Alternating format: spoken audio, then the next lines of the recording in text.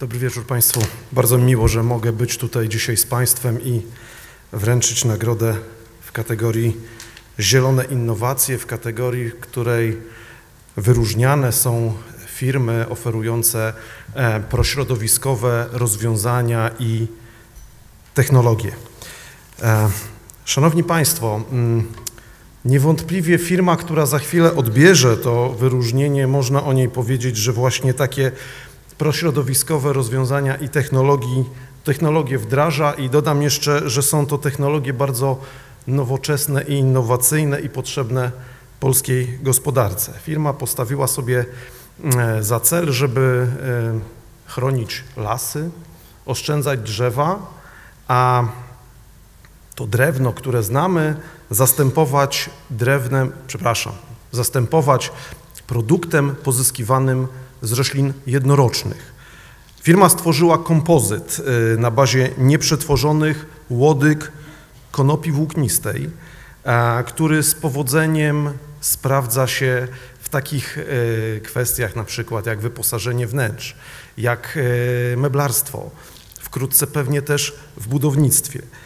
Kompozyt z łodyg konopi jest produktem pełni ekologicznym, jest ekologiczną alternatywą dla drewna i co warte podkreślenia, jest, y, posiada twardość, posiada gęstość taką, jaką ma zwykłe drewno.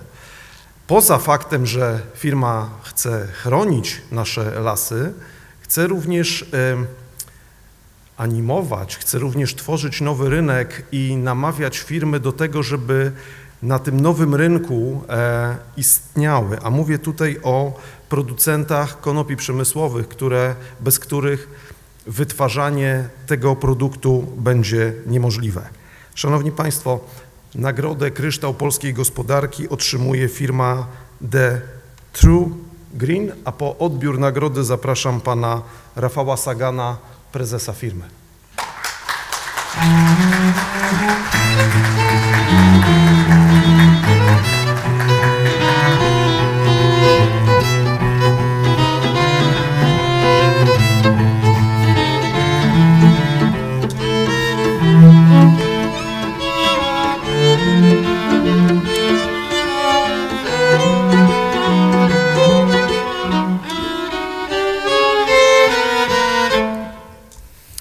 Dzień dobry, e, drodzy Państwo, e, droga kapituło, e, Panie Ministrze.